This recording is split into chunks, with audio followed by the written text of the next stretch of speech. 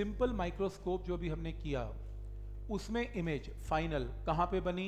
At least distance of distinct vision बनी। ये एक केस है। एक और केस आ सकता है। फिर से सिंपल माइक्रोस्कोप का डायग्राम बनाओ।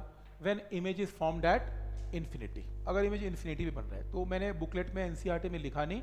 मैंने हैंड रिटन में अलग से केस बना रखा है, लेकिन एक्चुअल में यही केस है। तो चाहो तो बुकलेट में साथ ही बना लें। When image is formed at infinity तो क्या करेंगे इसमें? ये लेंस है, ये आई लिख देना, ये ऑब्जेक्ट है। ऑब्जेक्ट को ये आपने फोकल लेंथ पे ही रखना इंपॉर्टेंट है। ऑब्जेक्ट फोकल लेंथ पे ही रहेगी। एक रे सीधा फोकस में से सेंटर में से इन्फिनिटी क्योंकि सबको पता है कन्वेक्स लेंस में, अगर ऑब्जेक्ट कहाँ पर पड़ा हुआ है फोकल लेंथ पे तो image is formed at infinity तो ये डायग्राम बनेगा इन्फिनिटी का केस का।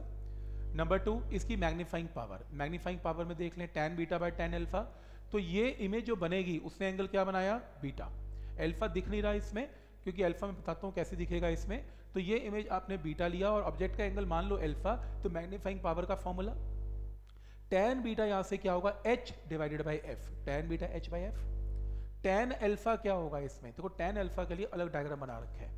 टेन अल्फ़ा के लिए ऑब्जेक्ट लिया, कोई लेंस नहीं, कोई कुछ नहीं. आँख के ऊपर इसकी डिस्टेंस की वैल्यू क्या है? डी डी का मतलब उसका जो डिस्टेंस है, जहाँ पर ऑब्जेक्ट को रखना चाहता है, और ये h by D tan alpha h by D ये रहा। Where D is least distance और डिस्टिंक्ट विजन जहाँ पर उसको रखा गया।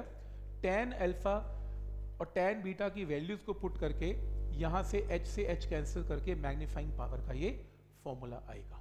तो ये फॉर्मूला अगर आप चेक करो, जो पहला फॉर्मूला था उसमें मैग्नीफाइंग पावर क्या आई थी? जब फाइनाइट डिस्टेंस था। One plus D by F और इन्फिनिटी वाले केस में फॉर्मूला क्या है? सिर्फ़ डी बाई एफ़ आप नोट करना, जितने भी फॉर्मूला फाइनाइट में है, उसमें वन प्लस समथिंग आता है। और इनफाइनाइट में वन प्लस समथिंग हट जाता है। ये एक शॉर्टकट है याद करने का। इन्फिनिटी के केस में सिर्फ़ डी बाई एफ़ आएगा।